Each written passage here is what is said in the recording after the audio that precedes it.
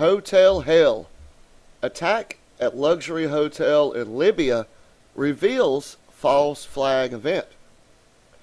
This is an article written by Shawn Helton, published on 21st Century Wire.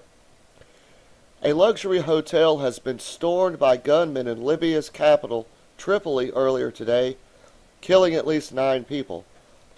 As reports are pouring in from the scene, we've been told that the shooting attack on the Corinthia Hotel was accompanied by a car bombing and that the Tripoli branch of ISIS claimed responsibility.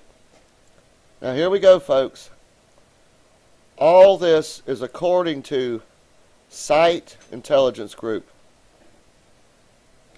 I've done several videos on SITE, and I just done one. Uh, my last video was about the uh, translation, uh, Israeli translation group that uh, translates everything the way they want it to sound.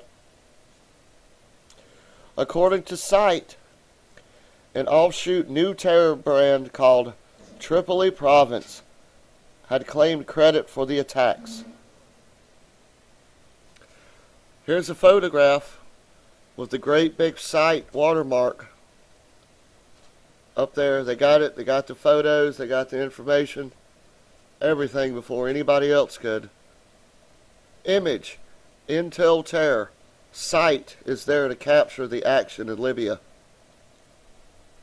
The perfect stage was set as the Corinthia Hotel was largely empty, as the ISIS linked group apparently could take their time choreographing the attack, as pictured below. Look like a bunch of paparazzi over there. One, two, three, four, five cameramen on that side. And then the one taking this picture, six. Look at that. A whole audience of cameramen. You got to be suspect of anything that's got that SITE watermark and logo on it. As we've noted multiple times here at 21st Century Wire, the intelligence monitoring group SITE Intelligence linked to both the CIA and Israeli intelligence and has been caught being the first to release ISIS related material before the black clad terror troop had released its own exploits on social media. As mentioned here in this special report published back in September. Of course, as if by magic, CIA and Israeli intelligence linked media outlet SITE is first on the scene. Here's Rita Katz doing a CNN interview. SITE founder, Israeli operative Rita Katz, who admits we had that video beforehand and were able to beat them with the release. Notice how convenient it was that the intelligence group acquired the ISIS videos.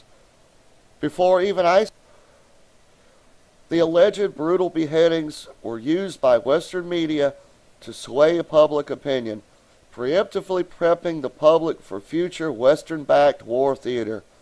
As we've also said before, SITE appears to have some sort of exclusive pipeline with all the main cartoon terrorist outfits Al Qaeda, Boko Haram, Al Shabaab, and now ISIS. SITE and its sister organization at Intel Center, and there's a brand new one that's popped up. I'm going to do a video a little bit later uh, and show you who that is and who the person is running it.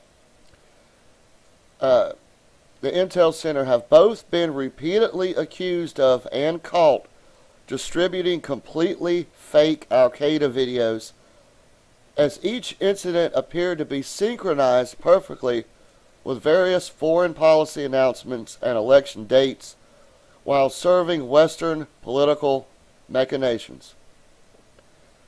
I'll leave links. This has been Unraveling the Matrix. Hit like, share, and subscribe. Thanks for watching.